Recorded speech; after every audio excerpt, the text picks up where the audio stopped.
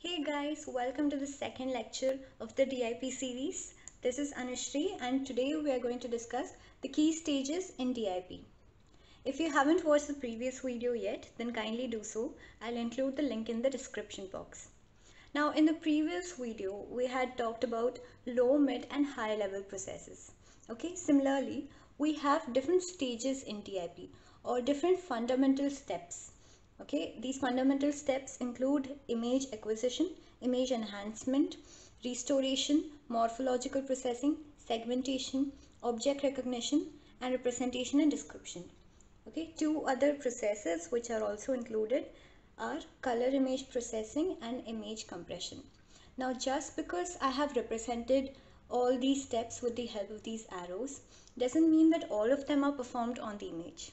Okay two or more two or three can also be applied on the image okay? It is based on the application okay? For noise reduction certain processes are used. For some uh, for scene understanding certain other processes are used. So based on the application these processes are applied on the image okay? I'll explain each of these one by one. Now the first step is image acquisition what is image acquisition? It mainly means acquiring the image. Okay, it can be done with the help of camera, which is also known as a sensor. And if the image is not already digitized, then it can be done with the help of an analog to digital converter. Okay, so image acquisition mainly means acquiring the image or getting the image. Okay, the next one is image enhancement. Image enhancement mainly means manipulating the image so that the result is more suitable than the original for specific applications okay? For certain applications we need an enhanced image okay? So we need a procedure which brings out the hidden details of an image and that is when image enhancement is used okay? It highlights certain features which may be important for our application. Next is image restoration.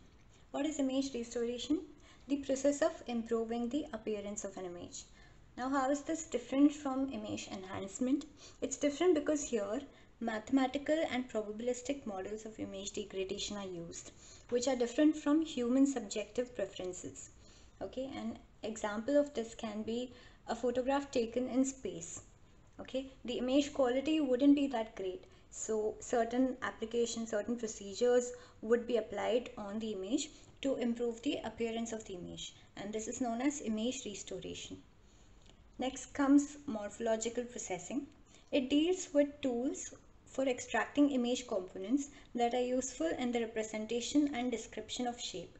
Okay, an example of this can be fingerprint recognition.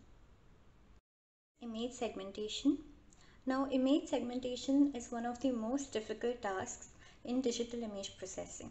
Okay there are various algorithms and various ways of doing it. And segmentation mainly means partitioning an image into constituent parts or objects. Okay so the more accurate the segmentation the more likely the recognition is to succeed. Okay and it has a wide variety of applications.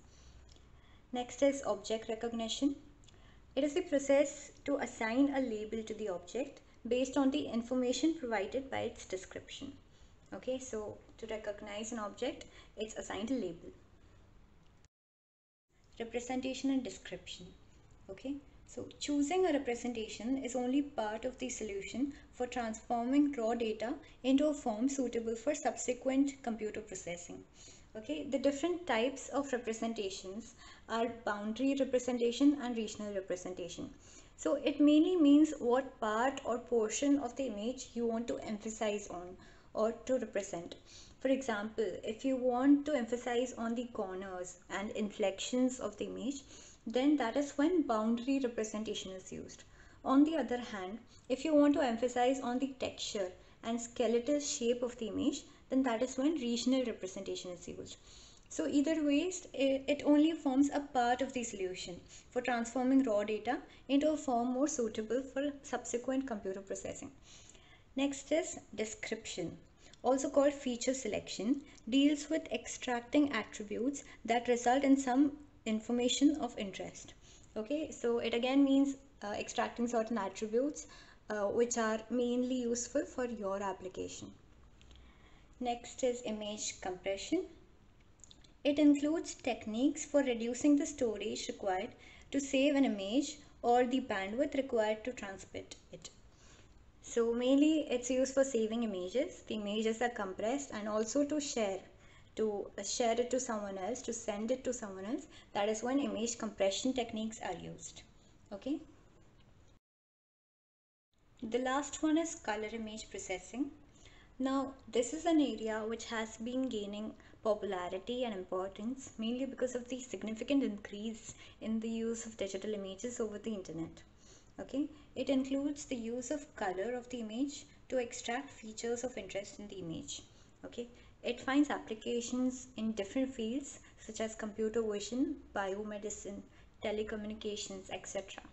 And it is a still developing field. There is much more research to be done in this field for our lectures, we'll mainly be working on grayscale images. Okay, so that's it for this one. I'll see you in the next one. Thank you.